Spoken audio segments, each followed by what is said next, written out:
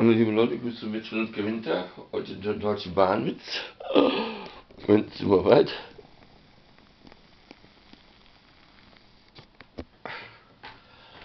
Hallo liebe Leute, ich grüße mit und Winter. Heute der Deutsche Bahnwitz. Und Prost mit einer Fantaste, gibt es mich Shop oder so ein Shirt.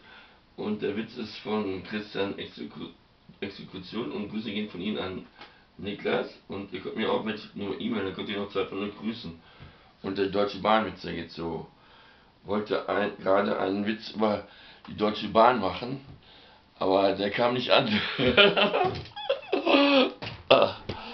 Wollte gerade einen Witz über die Deutsche Bahn machen, aber der kam nicht an.